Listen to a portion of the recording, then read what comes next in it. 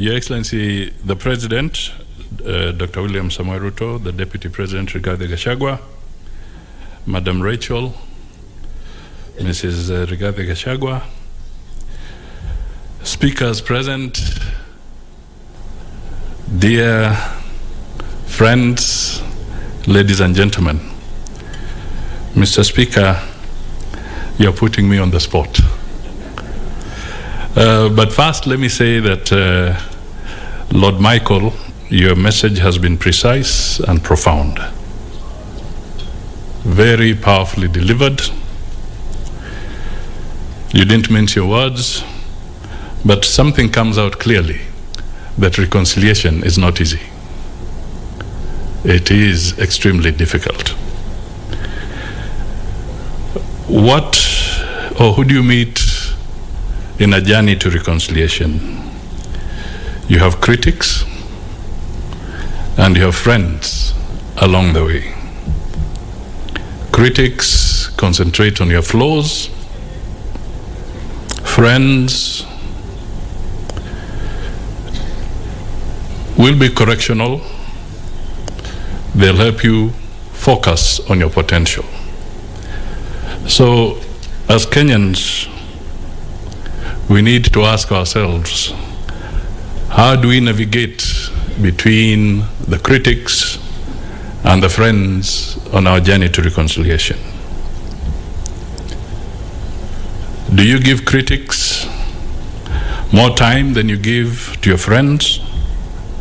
Or do you balance it out?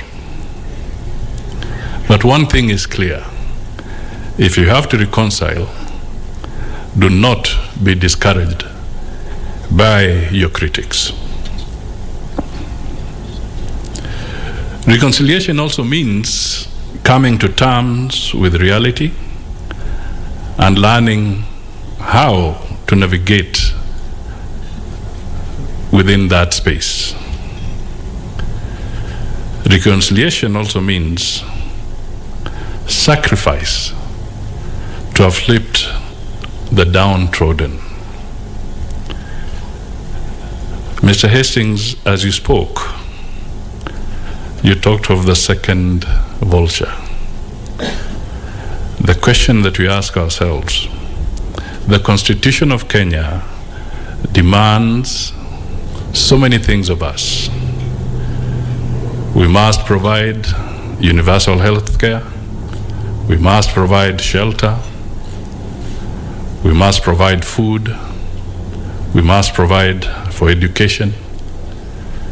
So, the question that I pose is this when the president of Kenya says we need to make a contribution to provide shelter to those that do not have it, are we vultures?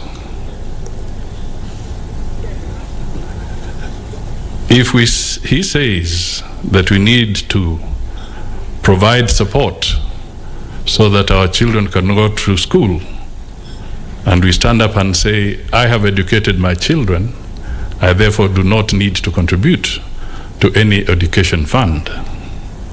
Are we being vultures?